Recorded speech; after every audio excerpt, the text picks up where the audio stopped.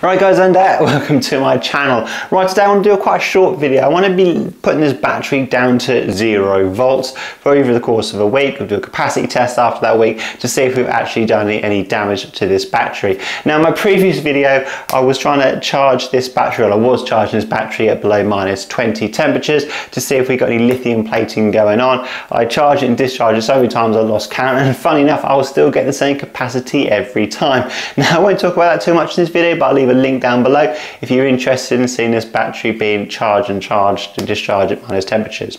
Now with this battery here we normally do a disconnect at two and a half volts. That is done by these BMSs, do a high and low voltage disconnect and as well as temperatures, high and low temperature disconnects to look after these. But I'll be doing something without be using a BMS, I'll be using my power supply unit here, setting to 3.6 volts. And I know when this is fully charged because it will tell me when the current stops going in. And to do a capacity test, I'll be using my trusty capacity tester here. Well, I actually left um, I'll be leaving this battery connected to this battery capacity tester over the course of the week just to make sure it's constantly being drawn and I'm constantly getting the nearest damn it zero volts as possible. So anyway guys, that's enough of me yippee yapping and uh, let's get on and uh, do this test. Now just finished doing a capacity test of this little battery here and you can see I stopped at 2.5 volts. That's the capacity voltage I will stop at.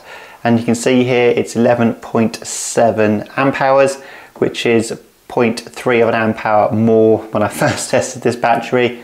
I'm putting that down to it being quite warm where I'm testing this today. It's a very hot day here in the UK so I'll explain why I maybe have a little bit over my original capacity test so as you can see here I've not had any effect of this battery whatsoever while having it basically almost at zero volts uh, for the last week. Now I did say I was going to keep this video short, which I am going to. So I got this idea really of doing these tests was because I had these little batteries, well bigger versions, 100 amp hours, and uh, we were doing some minus charging in the Powerwall over Christmas and kind of when it was frosty here in the UK, and I was worried that I'd actually damage the battery. So Doing these little tests and sticking this in the freezer, I kind of indicate that I haven't probably done any damage to the batteries in the shed. The heater in the shed is now up and running, keeping the batteries warm when it's cold.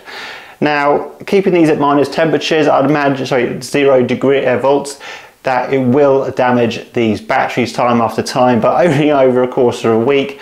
I've noticed that I haven't actually done particularly hardly any damage to this battery, if any. But I'm not saying it will. This I'm doing a little test. This is not obviously a proper scientific test. I'm using bits here that aren't scientifically calibrated, etc, etc. So this, remember guys, this is only a little test, so I don't want no keyboard warriors saying etc, etc, you know. So in my next video I want to be taking this battery apart of a scalpel and look inside. We'll make sure it's completely no voltage inside. I don't want any thermal runaway, shortening out and catching fire. So if you're interested in that video, please like and subscribe guys. It's appreciated hard. Helps this little channel grow and helps me fight those YouTube algorithms. And uh, I'll see you on the next video.